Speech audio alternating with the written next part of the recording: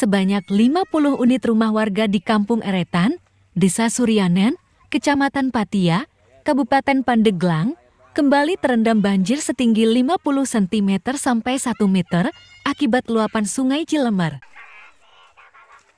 Belum tiga bulan, Januari tahun 2024 hingga 9 Maret tahun 2024, Kampung Eretan, Desa Suryanen, Kecamatan Patia, Kabupaten Pandeglang sudah dua kali terendam banjir.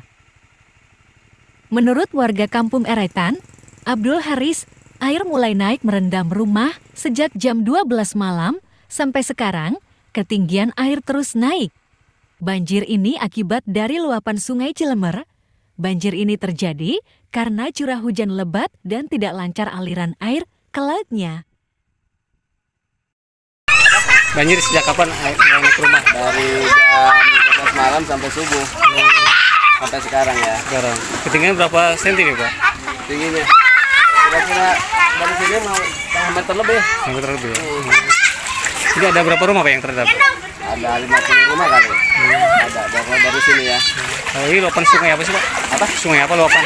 Dari sungai apa? Cilemer eh Cilemer. sungai Cilemer Oh, delapan sungai Cilemer. Cilemer.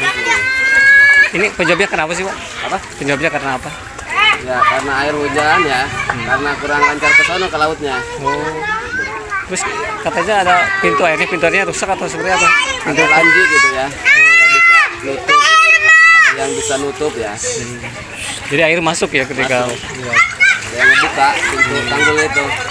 Warga lainnya, Abdul Rosak, mengatakan kalau rumahnya sudah terendam banjir dari Jumat 8 Maret tahun 2024 sekira jam 5 sore ketika ditanya apakah bisa masak, Rosak mengaku kalau masak masih bisa.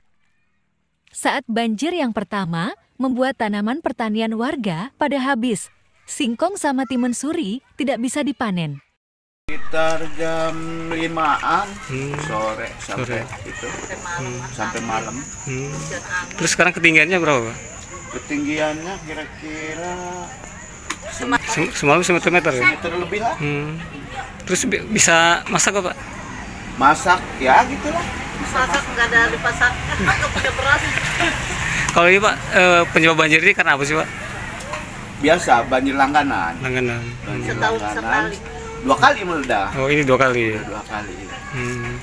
dua kali. Tanaman segala-galanya habis. Kemarin mah kemarin mah lumayan gede Hmm, tinggi ya? ya tanaman mah pada habis. Singkong terus pada habis semua. Berarti puan, ya singkong habis. Wah, habis. Oh, berarti bisa panen sekarang? kecil-kecil Aduh. mah digorong nggak enak. Atau nggak panen, sampai panen baru-baru panen.